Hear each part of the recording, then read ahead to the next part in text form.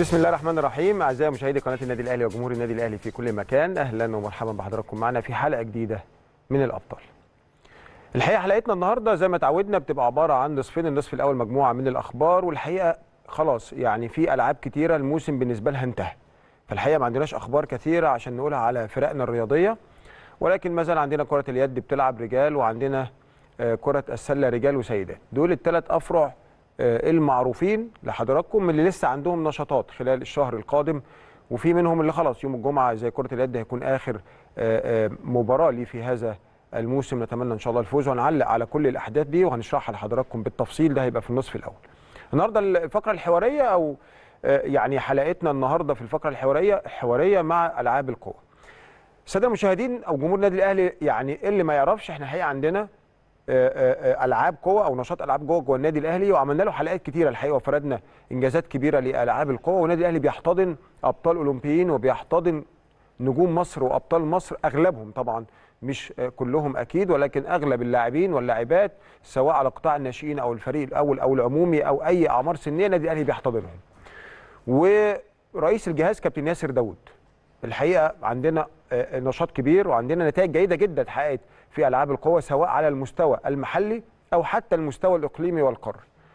النهارده ضيوفي هيكونوا ألعاب القوى هيكون معانا مجموعة كبيرة طبعا على رأسهم كابتن ياسر داوود رئيس الجهاز والحقيقة اللي يعني اللي الفترة الأخيرة كان يعني عامل خطط و- و- و- وبلانز معينة لألعاب القوى على مدار سنوات والحقيقة كان ضيفنا دايما بصفة مستمرة ودايما بنستعرض معاه اللي فات واللي جاي هيكون هو ضيفنا النهارده على رأس مجموعة من اللاعبين ومنيه خالد هتكون معانا ومعانا آه، رشا نادر ومعانا جيلان سيد وعلاء السيد. دول مجموعة لاعبين ألعاب القوى اللي هيكونوا معانا في طبعا في وجود آه، آه، كابتن ياسر داوود عشان نستعرض إنجازاتهم ونعرفهم بحضراتكم وعشان نستعرض إيه اللي جاي كمان. ودول أبرز الأرقام الحقيقة اللي اتحققت في ألعاب القوة هذا الموسم. دول ضيوفنا إن شاء الله في الفقرة الحوارية. هنروح لأخبارنا هنبتدي بكرة اليد رجال مباراة امبارح لكرة اليد الأهلي والزمالك واللي انتهت بخسارة النادي الأهلي أمام نادي الزمالك 29 25 خلاص مستر ديفيد ديفيدز واللاعبين والجهاز الفني قفلوا صفحة آه، هذه المباراة. وارد جدا إن أنت تتعادل في ال series 1 1 وتروح لمباراة فاصلة وده وارد جدا جدا. ولكن اللي مش مش طبيعي هو الأداء التحكيمي امبارح الحقيقة. حاجة أداء التحكيمي من حكمين اتنين يعني علاء حسن وحسام معتمد. لازم نقول أساميهم. لازم نقول أساميهم. آه، الحكم علاء حسن وحسام معتمد. الحكمين دول للأسف امبارح أخطاء تحكيمية بالجملة. ويعني أبرزهم على الإطلاق طبعا طرد اثنين لعيبة إبراهيم طبعا المصري و و و طرد اول أول طرد لينا كان آه، الطرد المصري إبراهيم المصري مدافع. وبعديهم على طول كان آه، ياسر سيف. طرد الاثنين لعيبة دول كانوا امبارح في آه، آه، آه، المباراة. بدون الرجوع لل video proof. انت النهارده ما عندك حتى أنتوا عارفين في كل لعبة في VAR. VAR في كرة القدم هو أشهر يعني مسمى. عندك في كرة السلة IRS عندك في كرة اليد اليد ال video proof. ما راحلوش. يعني النهارده انت عندك اتنين بيطردوا. أبسط الإيمان هتطرد لعيب مهم من فرقة لازم تروح تبص. في الوقت اللي الماتش اللي قبل كده حصل من لاعب الماتش الأولاني حصل من لاعب نادي الزمالك تصرف وهو خارج من أرض الملعب وكل الكاميرات جابته وكل الدنيا شافته ما حصلش أي إجراء. يا جماعة يعني أنا ما عنديش كلمة أقولها. يعني طب يعني الناس دي إزاي يعني أنا مش عارف. ماتش الزمالك الأولاني لاعب مهم في نادي الزمالك بدون ذكر اسمه خارج من الملعب تم آه، طرده خارج من الملعب عمل حركة أو يعني صدر منه أمر كل الناس شافته. وانتظرنا وقعدنا نكتب ونقول إيه اللي هيحصل معاه لجنة المسابقات هتعمل إيه؟ ما فيش حاجة. امبارح بيطلع الكارت الأحمر لاثنين لعيبة مهمين عندك في no time طب يا باشا روح بص على الفيديو واللي إحنا بنطالب من هنا مباراة ثالثه لازم يروحوا له. لو الحكام ما راحتلوش هيبقى في مشكلة وهيضيعوا مجهود الفرقة. نادي الأهلي هذا الفريق اتعرض لظلم كبير وأنا هقول لكم ليه كمان. الحاجة الثانية أول المباراة خالص كان في مباراة كان في فاول على أحمد الأحمر يستحق. ايقاف دقيقتين ورمية جزائية ولا كأنهم شايفينها ولا كأنهم شافوها. يعني تاني علاء حسن وحسام معتمد الحكمين دول خليكم فاكرينهم. مش هننسى ابدا اللي عملوه في مباراة امبارح. عمرنا ما هننسى مهما ربنا أحيانا كده كهلاوية عمرنا ما هننسى علاء حسن وحسام معتمد من اللي صدر منهم امبارح. قد يكونوا توفقوا أو ما توفقوش. يعني دي حاجة أنا ما بقولش ما بخش جوه النوايا ولكن أنا بتكلم على أداء أداء جوه الملعب. أنا لا سمح الله ما بقولش حد بيتعمد حاجة. عشان بس ما يتقالش هيثم قال في قناة الأهلي كده. أنا بقول إن في أخطاء. والأخطاء دي الحقيقة يعني أثرت معانا جامد جدا. طيب هروح لحاجة تانية والماتش دي حاجة ما تخش الحكام بقى المباراة الأولى. المباراة الأولى اللي حصل فيها وما تاخدش أي أكشن نهائي. طيب أنا رسالتي هنا ل يعني لجنة الحكام والحك... والحكام اللي هتحكم المباراة ايا كان وهو في أسامي اتسربت يعني.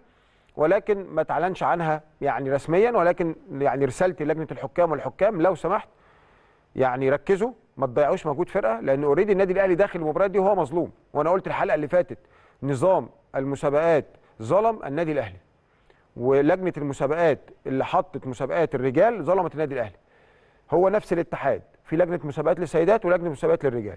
لجنة مسابقات السيدات ادت ادت الأفضلية للي طول الموسم بيكسب. وطلعت في النهايات أول تاني تالت رابع كل واحد بيمتاز بميزة حسب ترتيبه. إدت للي تعب واجتهد طول السنة ميزة. كان منها في السيدات إن الدورة المجمعة الأولى تبقى على ملعب الثاني الدورة المجمعة الثانية تبقى على الملعب الأول ودخلك راكب بنقطة أو نص نقطة عن اللي بعدك عن اللي, عن اللي بعدك. الرجال مش كان من ده خالص. أول وثاني زي بعض ويلعبوا best of 3 ده في عهد مين؟ وفي عقل مين؟ وفي عدل مين؟ وفي ميزان مين ده؟ يعني في أنهي ميزان تقول إن أنت السنة كلها بتلعب وفي الآخر تتساوي الأول بالثاني ونلعب best of 3 ليه؟ ليه؟ يعني إيه إيه الدافع لكده؟ أمال أنا يعني يا أخي طب أنا أخش يعني وديني best of 3 بس أنا فارق بنقطة إن أنا أكسب ماتش واحد من الثلاثه أفوز. يا راجل يا راجل ميزني بحاجة. ما يبقاش أنا الموسم كله بتعب وبكسب وما خسرتش غير يمكن مباراة ولا حاجة وبتساوي باللي خسر ثلاث أربع مباريات. يا راجل يا راجل فين كده؟ ده فين في أي حتة في العالم كده؟ دخلني فارق نص نقطة إن أنا أكسب ماتش واحد من الثلاثه أفوز يبقى الثاني لو كسب ماتشين هو اللي يفوز. ماشي أنا معاك. والأول يبقى معاه ماتش. يا سيدي ماشي. ومع ذلك ظلم. ويا سيدي هعتبرها لك كده. إنما أنت النهارده بتدخلني متساوي مع الثاني طب إزاي يا جماعة؟ ومع ذلك تجيب لي حكام يعملوا فيا كده كمان؟ ده إيه ده يا جماعة ده؟ طيب خلاص. أنا يعني أنا بصراحة يعني اعذروني ان أنا يعني أنا دمي محروق من امبارح بصراحة. رسالتي للعيبة. طلعوا كل الكلام ده بره دماغكم خالص. طلعوه بره دماغكم ركزوا في المباراة. عادي جدا تلعب اعتبر إن أنت بتلعب ضد 8 لعيبة في الملعب. وأنتوا فاهمين كلامي. اعتبر كده. انزل العب راجل واعرف إن أنت هتاخد البطولة دي بال يعني بالمجهود والتعب والعرق. انزل دافع وجز على أسنانك والعب. أنت النهارده يعني مباراة بالموسم كله. فإن شاء الله يعني نتمنى من اللاعبين التركيز بدون أي ضغط عصبي. نلعب وندافع. ونتوقع أي حاجة ممكن تحصل في الملعب من الحكام. توقع أي شيء. أنا يعني بقول الكلام ده للأسف وأنا في قمة يعني الإحباط بصراحة. بس هو ده اللي لازم يتعمل. أنا لو مكان اللعيبه هلعب كده. لازم ألعب.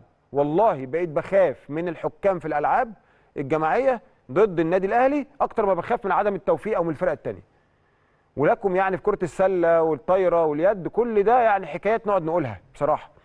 معلش أنا طولت عليكم في الموضوع ده ولكن أنا يهمني ان شاء الله اللعيبة تنزل مركزة يوم الجمعة بإذن الله. دفاع نغل نلعب بقوة.